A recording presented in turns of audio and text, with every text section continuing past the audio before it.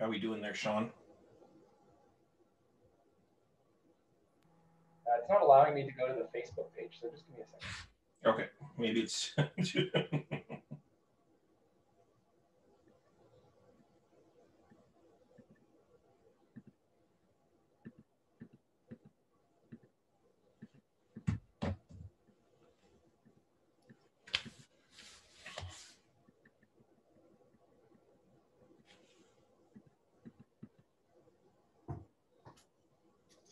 I can see people send me messages. So nice to see everyone. Uh, you know, this uh, pandemic is such a crazy time, and and uh, so hi to Jeremy and James, and thanks for the messages there. And uh, yeah, it's nice to see you guys too. Yeah, I don't know why, Niigaan, but it's not allowing me to put it on our uh, on our Facebook page. Um, okay. Just like we tried last night, it doesn't uh, doesn't look like it's. it's But you've got the you've got those ellipsis buttons, and it says live, go live on Facebook. Yeah, but it's not giving me the option to post as uh, as native studies. Okay. Well, we're going to record it anyways, and we have a pretty good crowd here, so let's uh, let's do that, and then you know I, I can always upload it onto the Facebook page following. So um, uh, we'll we'll have to ensure that the the like right now the security settings don't let me put it on Facebook, so that says to me that something's going on. Uh, you've made sure that I'm the like. Can you make me? You've already made me the co-host, right?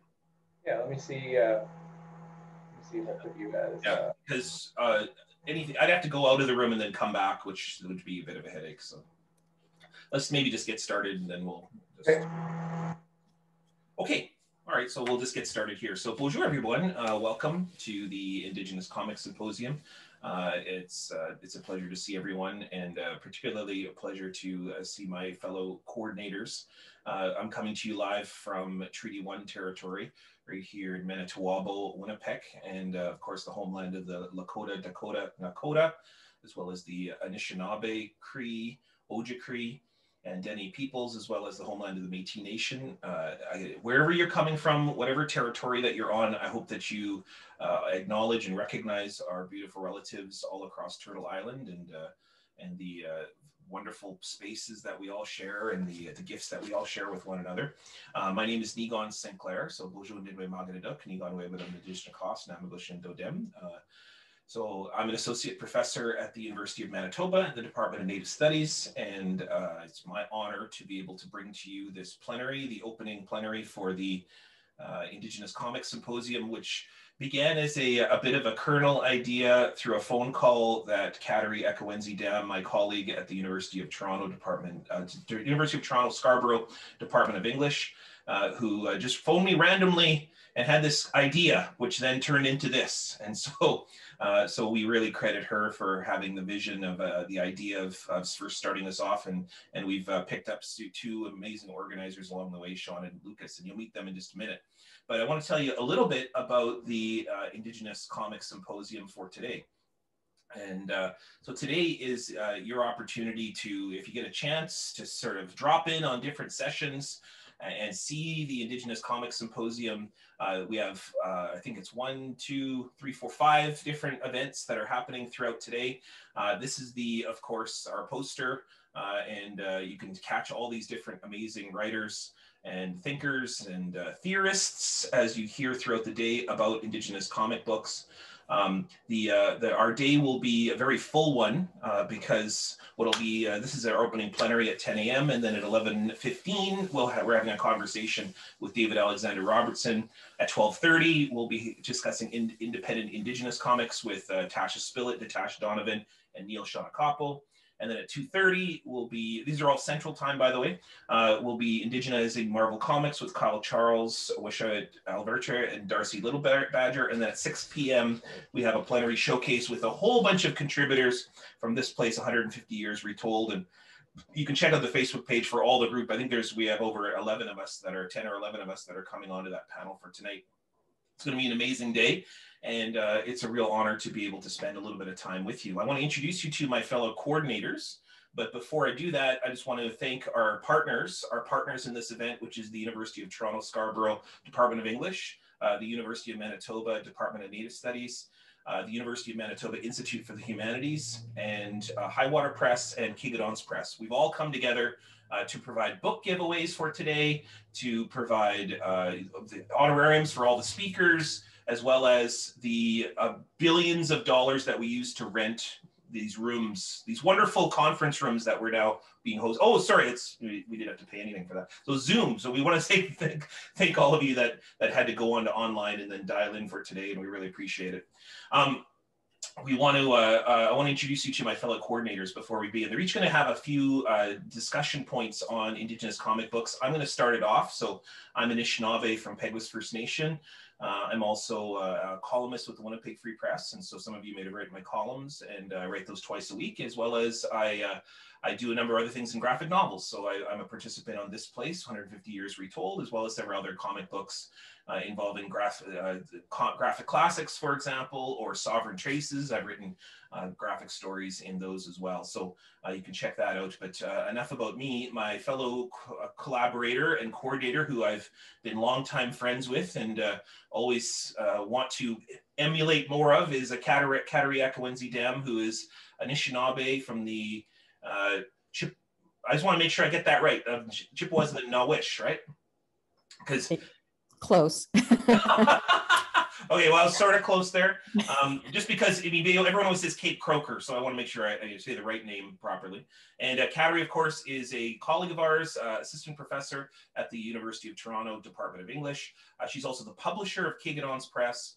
Uh, you can see Kateri's work in, in numerous anthologies, as well as her own uh, poetry uh, and stories including those at Highwater Press and, and, international anthologies as well on Indigenous erotica.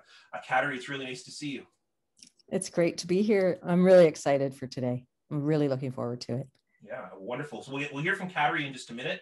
Uh, but my, my other uh, partner for this event is my colleague, Sean Carleton, who is a brand new assistant professor at the, uh, he's sparkling just out of the package you know, of uh, sparkling new assistant professor at the University of Manitoba, Sean Carleton, coming to us from previously Mount Royal University. Uh, Sean's interests involve representation, stereotypes, uh, also discussing around Indigenous uh, nationhood and talking about how good allyship. And so Sean is an amazing collaborator. Uh, it's a real honor to have you here, Sean. I know you're doing a lot of the tech throughout today, so we'll hear from you in just a little bit, talking a little bit about representation, but it's nice to see you, man. Oh. Oh, I just get a wave. Okay, there you go. Great, nice to see you, Sean. Uh, my our, our fourth partner, uh, who has just been so generous and so kind with his time and efforts, is uh, Lucas Tromly, who's from the University of Manitoba Institute of the Humanities. Uh, Lucas uh, has been just instrumental in helping us get funding for this event. Also, has been very helpful for us to be able to coordinate. And and as we discovered throughout the process, he asks all the questions we forget about. So Lucas, thanks so much for coming. Nice to see you, man. Thanks, guys. I'm really happy to be here. Okay, wonderful. Um, so let's get started. So why are we here? Uh, we're talking about uh, comic books and we're talking about graphic novels. And so uh, what I like to do is uh, I'll start off by just speaking a little bit about uh, what it is that comic books are involving, like what it is that we are trying to talk about for today. And so I'm just going to share uh,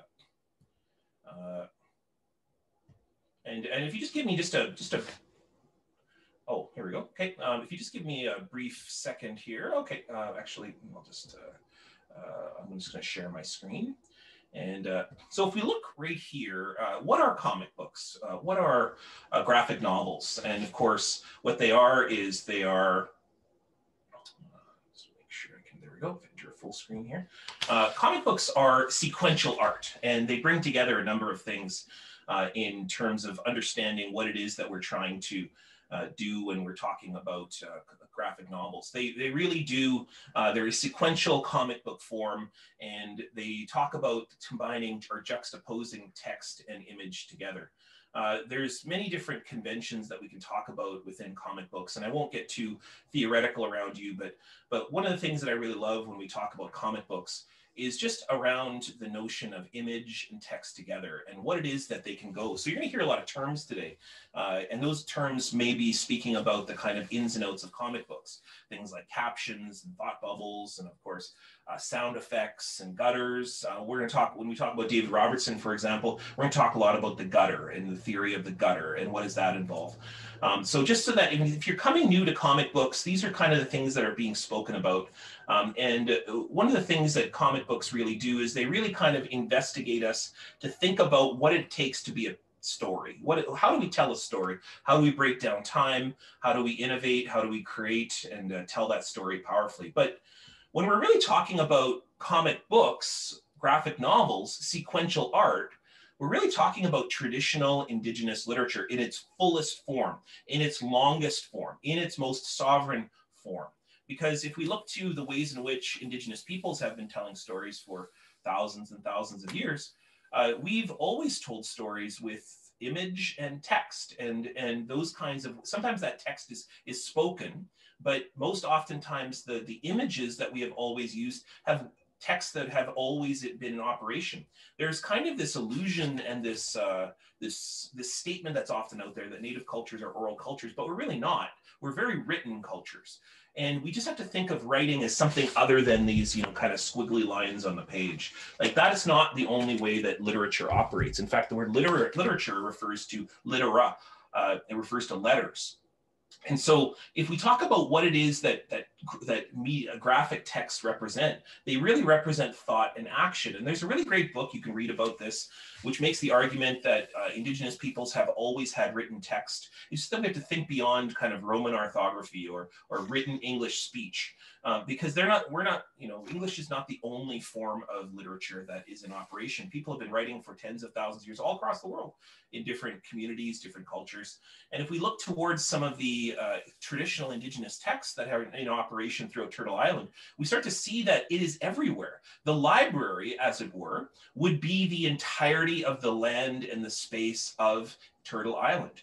Um, there's a really great text, if you can see, of the Anasazi people, which are people sort of uh, bordering uh, Arizona, New Mexico, uh, Colorado, and and they they've been writing texts, you know, about experience and about what you can see. Uh, this is a much bigger view right here. But if you zoom in, you can see some of the text, things you can see, things you can unsee. And if you zoom out and uh, people have traced out this text, uh, you can see here, it's talking about ceremony, it's talking about animals and life and, and the sacred, or what we call the incorporeal, the things that are spiritual or mysterious, and the corporeal, very real and the material.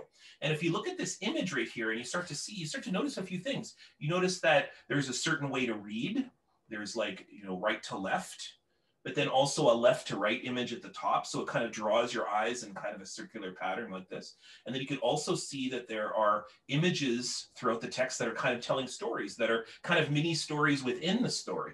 And you also notice that there are certain elements of the story that are talking about uh, parts that perhaps are mysterious. Like on the left-hand side, you can see an alligator, for example, with a human hand, or you can see a uh, a being with only one arm with long horns. And then in the right hand side, you see just very everyday things. You see an owl, you see a deer, you see giving birth over here, you see a lodge over here. And then you're like, so that seems like on the right hand side of the things that we see and the things that we don't see. But yet you've got this dividing line in the middle with these little air pockets. And you've got this image right here of someone who can see on both sides. And you're like, so we start to realize that we're really being invited to, to, think of a story in multiple directions, multiple ways of reading, and probably the most important of all is we've got a gutter right in the middle of the page, meaning that we've got space for us to think about where we sit.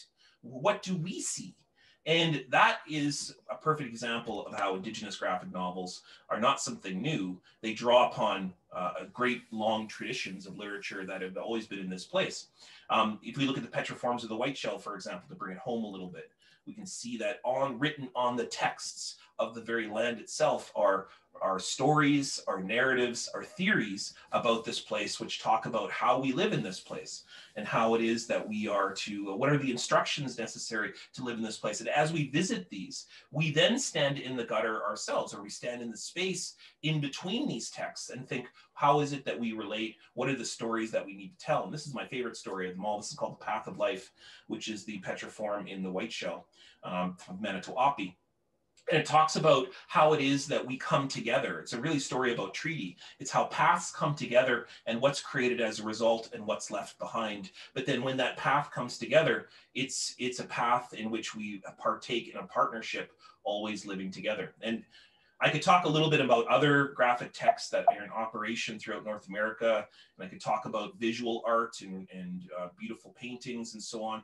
Uh, you know, I've written a lot about this piece right here, and I've actually you know, talk a lot about this piece in the Manitoba Museum and Daphne Odjig's two pieces here. One of the greatest things uh, is uh, Indigenous graphic novels are so innovative that even when Indigenous artists are doing sequential art, these are two paintings. One is in Peguis First Nation, the other one's in the Manitoba Museum. There's a gap of around 250 kilometers. Um, she's talking about the flood of Manitoba and the birth of life in Manitoba, but also the colonization of Manitoba and what we do about it. This is called the Great Flood and this is called the creation of the world. And if you know the story of the muskrat that creates the world, uh, you know the story of what I'm talking about here. But the amazing thing is, is that she puts the beginning of the story in Peguis First Nation, and then the uh, not the end of the story, but the conclusion of that version of the story in Man- the Manitoba Museum. So literally everybody who lives in that space between those two images is literally living in the comic itself or in the graphic story itself, the sequential art itself it's a pretty remarkable uh, thing that we're going to be talking about for today. And so uh, when we talk about uh, graphic novels, though, uh, we haven't always had the most uh, positive of representations. Uh, we've had, um, for instance, many really problematic representations of Indigenous peoples throughout time. So I'm going to hand it over to my colleague Sean Carleton, who's going to tell you a little bit about that. Um, and I can see that's asked to unmute. Okay. you, you had to jump out and then come back in, I guess. are, you, are you on there? You have to unmute yourself now. There we go. Um, well, thanks, thanks so much, Niigaan.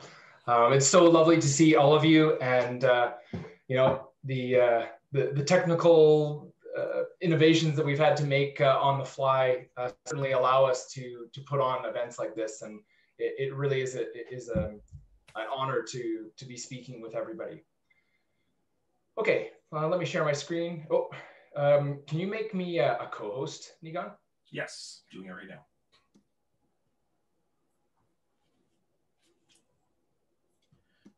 Okay, should do it now. Let's see. Okay.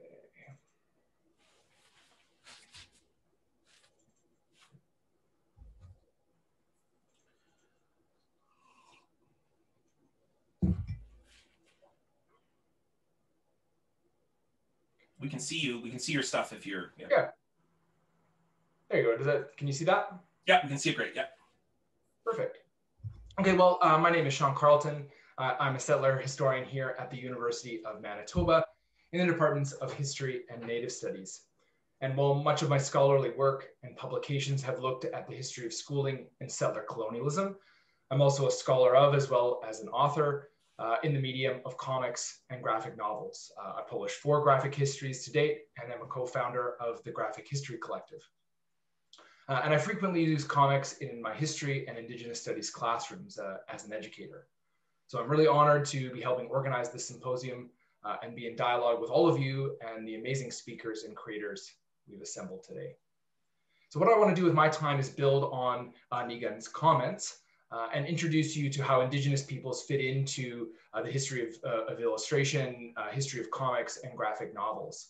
And then introduce you briefly to some specific Indigenous titles that I engage uh, and teach with, and that I'm sure will come up again and again over the course of the day.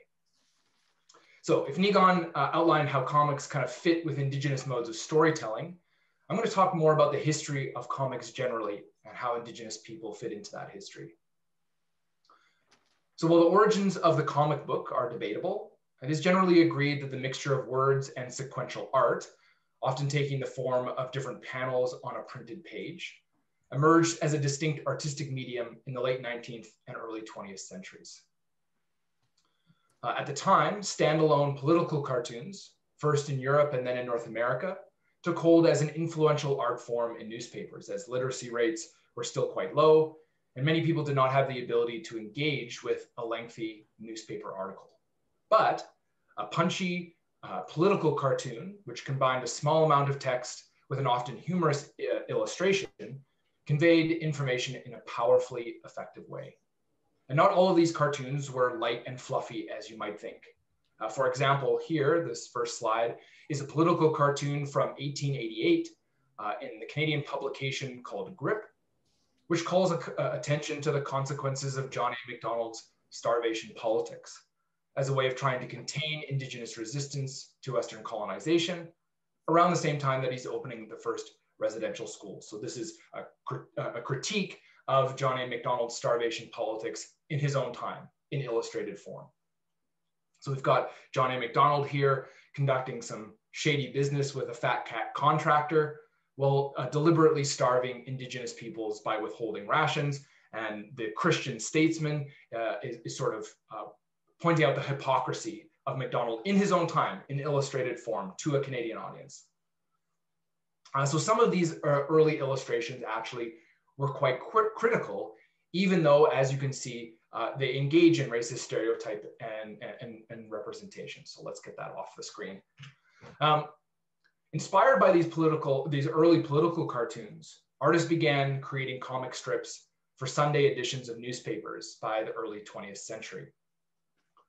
And by the 1930s, especially in the United States, comics had become an established medium, primarily for children and adolescents, but with some popular appeal for adults as well. But it was really the invention of the superhero genre in the 1930s and 1940s, specifically Superman, Batman, and Wonder Woman, that launched the comic book into the mainstream. And while the superhero genre was certainly the most popular, it's what most people think of when they think of comic books, there were other genres uh, that were quite popular, including uh, the Western genre, that included titles such as The Lone Ranger uh, and Warpath. Uh, and most of these comics represented Indigenous peoples in pretty stereotypically racist ways that I don't need to, to go into detail about. It was not until the 1970s and 1980s that indigenous people were brought in from the margins of the comic book universe. And you started to see new characters like Apache Chief, uh, Shaman, and Dawnstar. But still, for the most part, uh, these new titles uh, were being created by white artists for overwhelmingly white audiences. And these are mostly US titles. So quickly, how does Canada fit into this? Uh, in Canada, Indigenous people did not figure very prominently in early comics. Um, Inuit played a minor, minor role in, in the famous 1940s run of Nelvana of the Northern Lights, uh, where Nelvana plays a northern goddess looking out for Inuit in the environment. Uh, there was in the middle here uh, a 1960s comic called New Trails, created actually by the Department of Indian Affairs uh, to try and promote assimilation to, to youth uh, and, young adults. Uh, and then in the 1970s, uh, there was Super Shamou, the first indigenous created superhero. But again, these titles were for the most part uh, short-lived.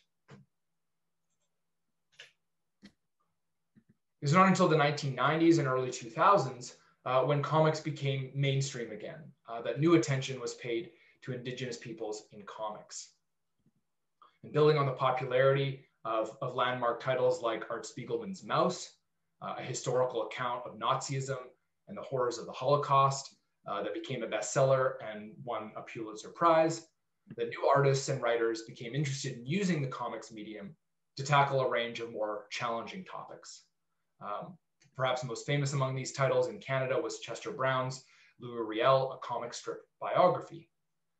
And despite its many obvious problems uh, in terms of representation for anyone who, who has read this particular title, uh, its success did clear the way for many publishers to be interested in getting graphic and having Indigenous authors tell their own stories through the comics medium.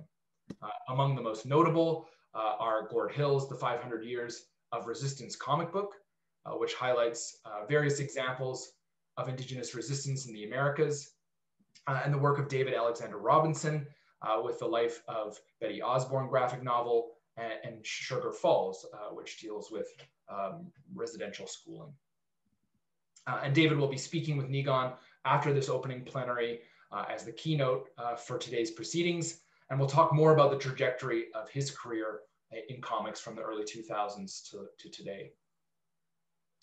Uh, I don't want to cut into Kateri's time and our time to discuss and, and take some questions via the chat. Uh, and I'm, I'm, sure Kateri will talk more about some of her favorite works. Uh, she's also a scholar and a producer of comics. Um, so I just wanted to, to highlight a few more titles.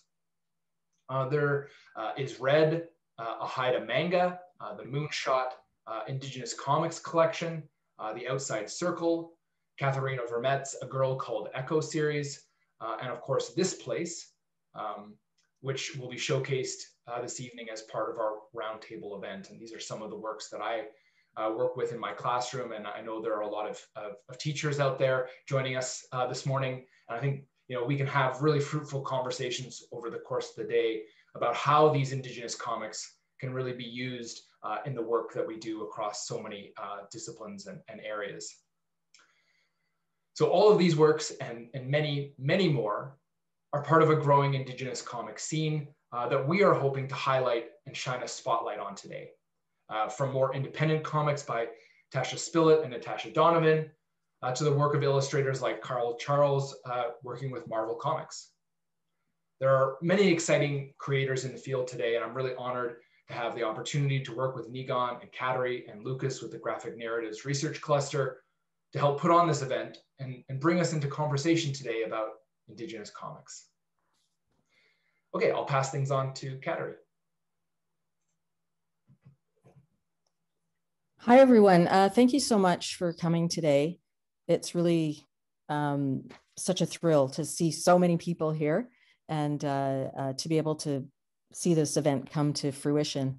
Um, I'd like to thank all of you. I'd like to thank my co-hosts, uh, for working so diligently on this and uh, and especially the University of Toronto, Scarborough, Department of English, U of M, Highwater Press, Kegedonce Press, everyone who uh, was involved in in uh, promoting and helping to bring this event to you today. So um, I'm actually relatively new to the study of comics and graphic novels, which is part of the reason why I, uh, I thought that event, an event like this would be helpful in bringing us together uh, so that we could talk about uh, Indigenous comics, um, Indigenous graphic novels, and, and uh, begin to share information and ideas around that. So I was really happy to hear Niigaan's presentation and Sean's presentation. Um, my interest in graphic novels started um, back in the 90s uh, I was living in my community uh, where I still live part time at the Chippewas of Nawash Unceded First Nation, uh, Saugeen Ojibwe Nation in Ontario. And uh, one of our community members uh, was researching our, our treaties. Um, part of a project that she was doing. Uh, fishing rights had become a huge issue in our community. Uh, there was a lot of um, violence from outside our community related to that. And so she began doing this project where she would research various aspects of the treaties.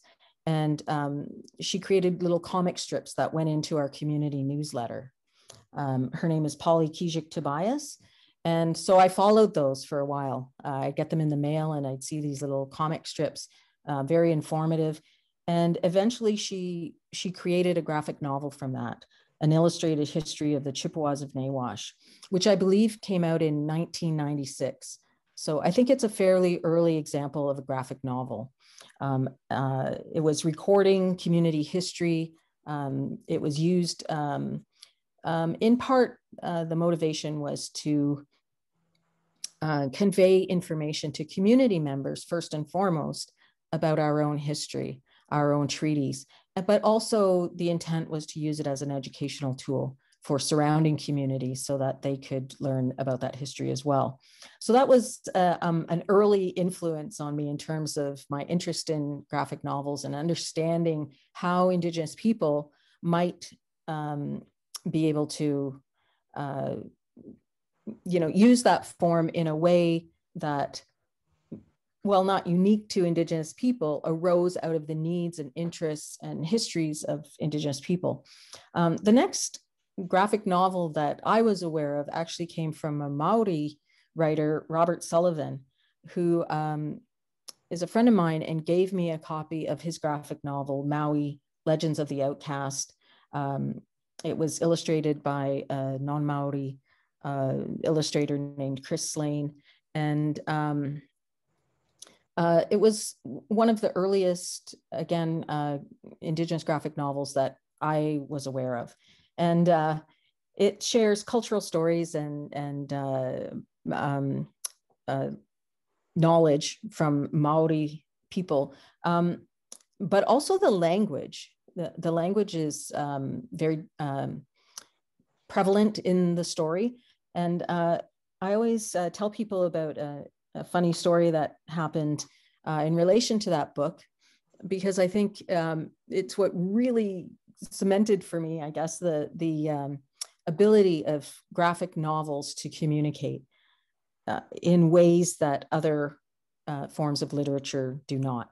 So I had the, a copy of this graphic novel. I had my young nephew visiting me one time. This was uh, many years ago. I think he was about seven at the time. Um, we had been out um, uh, foraging and gathering. I can't remember at the time what it was at the time, but maybe um, wild leeks or or uh, fiddleheads. And um, he was. We were playing and doing other things, and then I had something I had to do, and so I left him um, watching television or something, and and went into the kitchen. And I don't know, I was cooking or whatever and uh, after a while, I realized he was extremely quiet. So if any of you have small children or have had to take care of small children, uh, you probably know that when children become really quiet for a long period of time, that uh, sometimes that's not so good. Um, he was either being really, really well behaved or something was going on. So I went to check on him and I found him in my room he was sitting on my bed and he had that book, Maui, um, and he was totally engrossed in it. He knew nothing about Maori people. He knew nothing about the Maori language, which was very predominant in the story. And um, he was just wrapped. He was just engrossed in it. And he was not a child who particularly liked to read. And so, as a result of that, I thought, okay, there's also something that's speaking to this young Indigenous boy that's in this uh, graphic novel, um, even though it's not from our people, there's something that is really resonating with him. And ever since then, I've been wanting to publish and create and learn more about Indigenous graphic novels.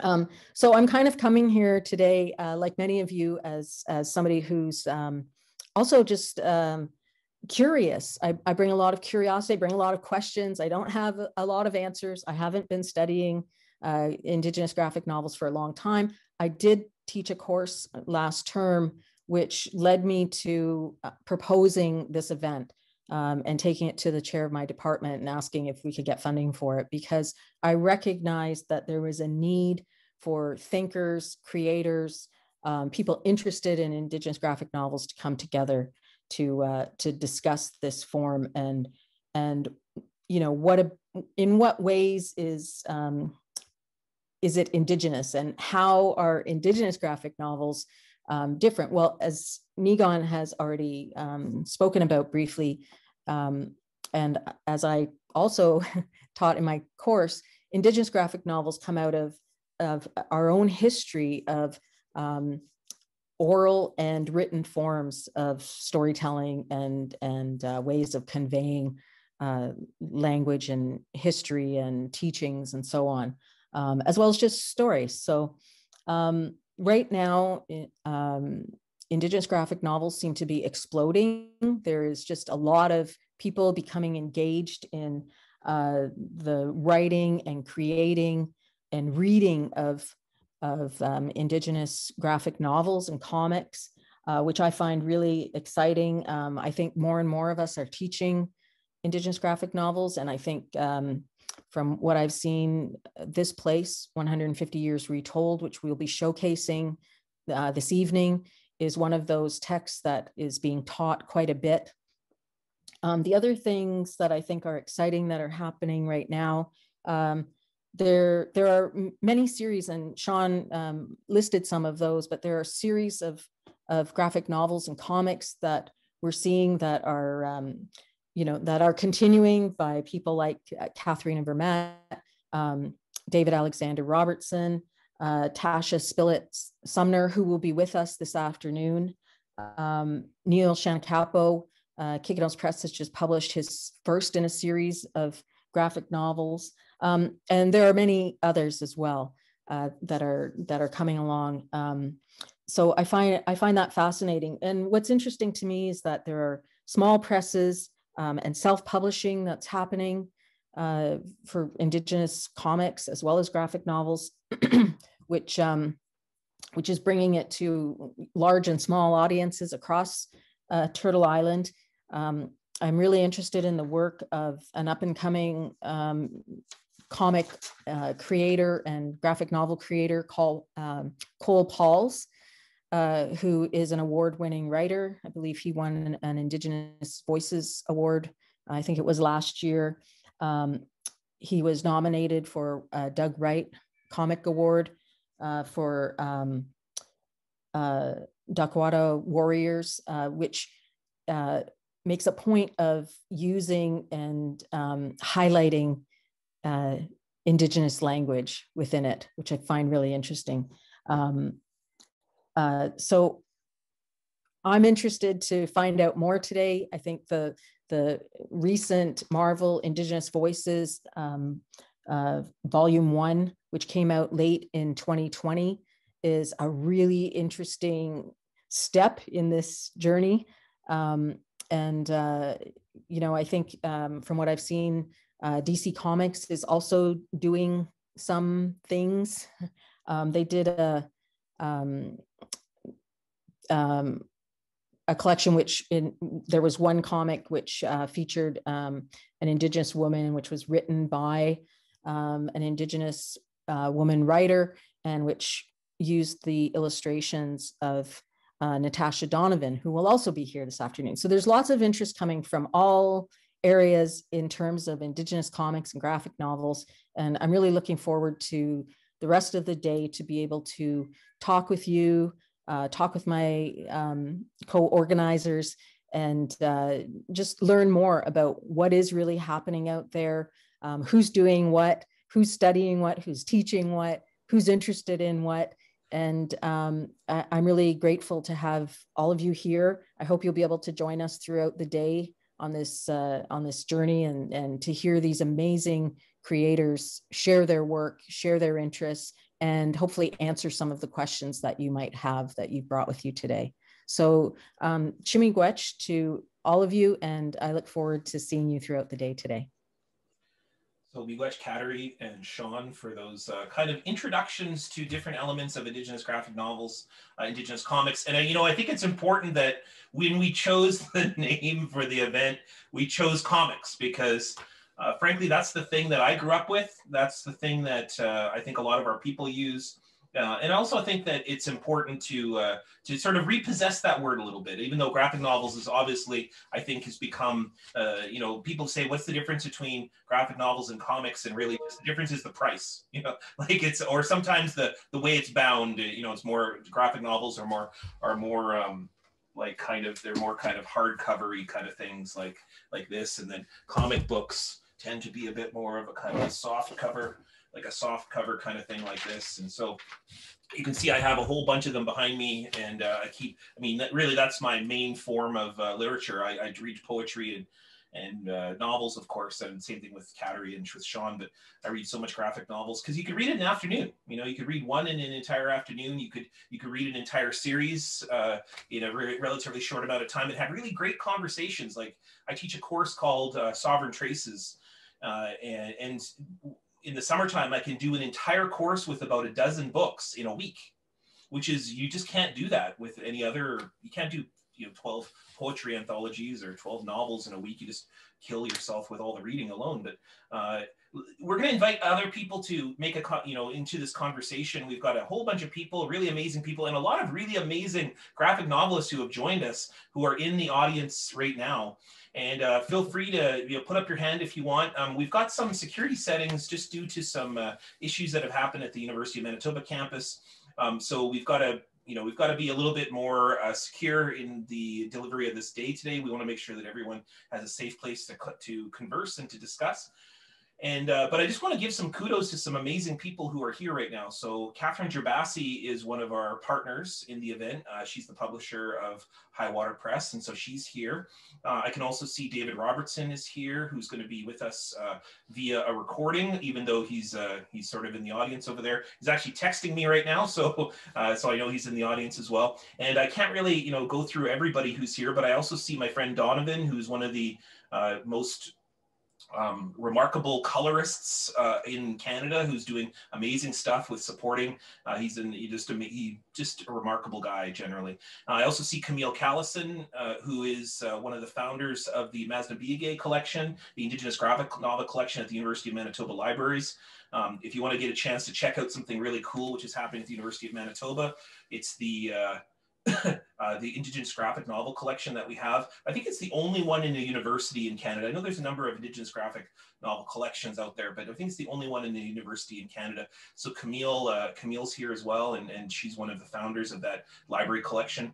And just a whole bunch of other people who are here. Uh, really awesome, great people. I'm just scrolling to the list and going, oh gosh, all these people that I wish I could all see you right now physically. Uh, Patricia Campbell is here as well from Kegedonce Press. Oh, that's right. Yeah, Patricia's here. And uh, oh, that brings us to um, the giveaways. So let's not forget about the giveaways that are happening throughout today. So our first giveaway is happening uh, right now. So if you want to go out and you want to uh, have an opportunity to get your first giveaway for attending for today, uh, do we want to invite uh, Patricia to come and uh, give our giveaway the first giveaway from Kegedonce Press?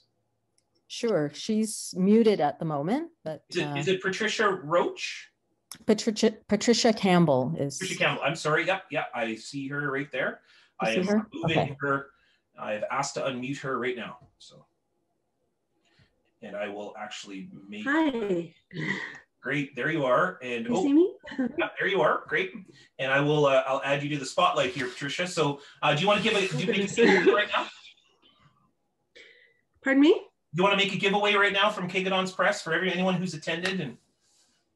Yes, so we are giving away a copy or several copies over the day of uh, The Carillion Key, uh, Salamander Run, which is volume one of The Carillion Key by Neal Shannacappo. We published uh, this book in November last year.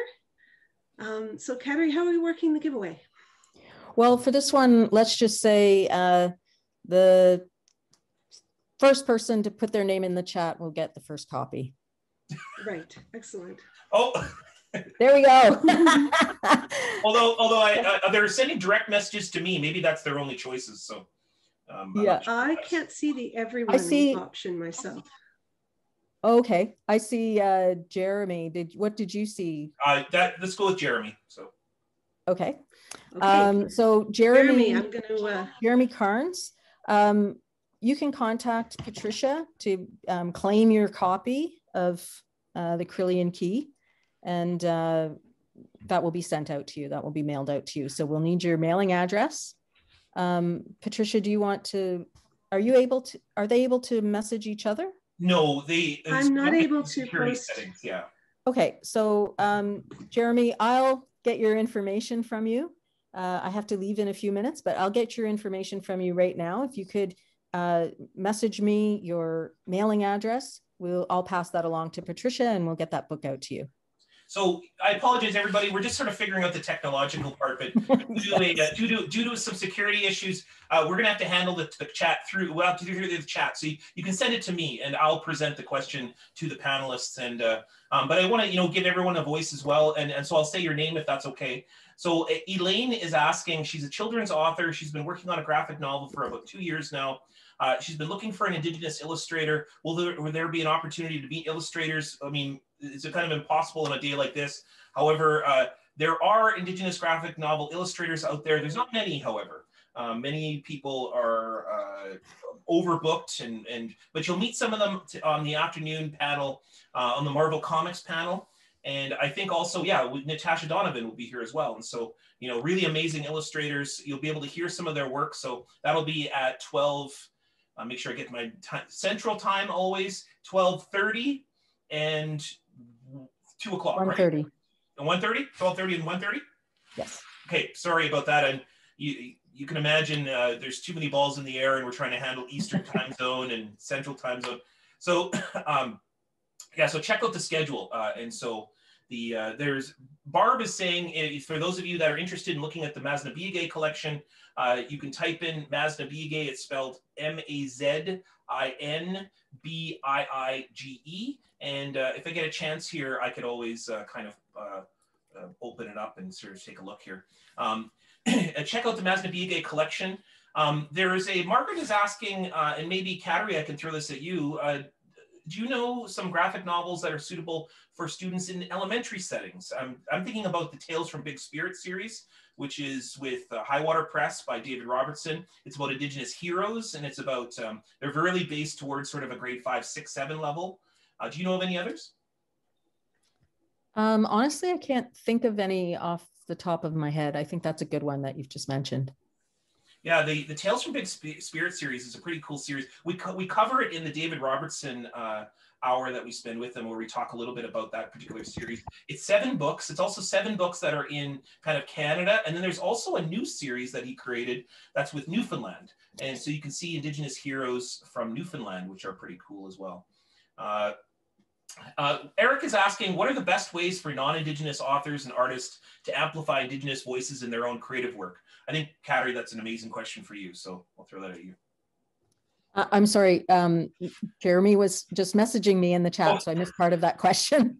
uh, what are the best ways for non-Indigenous authors and artists to amplify Indigenous voices in their own creative work? Oh, that's a really good question. Um, I think I think I'm going to start from the opposite end, I guess, in a way, which is um, uh, to just um, not assume an Indigenous voice in your work. So we, you know, we, I would encourage you to avoid that. But if you if you're looking for ways to um, make people aware, I think there's lots of opportunities when you're um, when you're uh, out in the public to make people aware of um, Indigenous authors whose works might be similar to yours or in the same genre as yours. Um, within the, the work itself, I have a colleague at, uh, at UTSC um, who is including a land acknowledgement in her upcoming novel uh, to be published. And as part of that, she is encouraging people to go and read uh, specific uh, Indigenous authors who she is recommending to her readers. So I thought that was a really um, great way for her to to highlight and and spotlight other um, Indigenous writers and their works. So, so a couple of uh, a couple of ideas for you to uh, how you might be able to do that in a good way. I'm just posting the uh,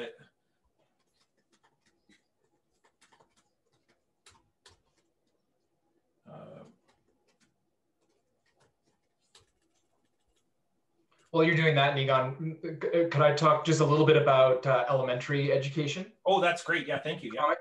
I mean, I see David Alexander Robertson there, and, and I've done a lot of work with uh, social studies teachers and trying to find ways to include uh, graphic works um, and, and some librarians, which I know we have quite a few librarians out there. Um, and, and I've had a lot of, of um, positive response to a lot of what David Alexander Robertson uh, Scott. Henderson have done things like Sugar Falls, right? Facilitating uh, age appropriate conversations about residential schooling.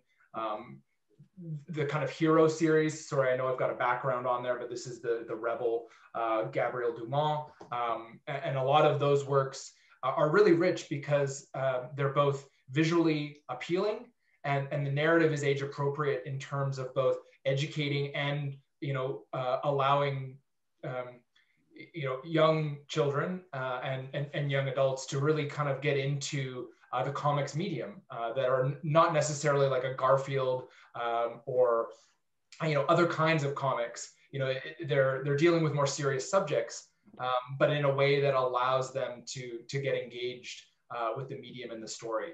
So for for folks looking for age appropriate uh, materials, I would absolutely recommend those as a good starting place.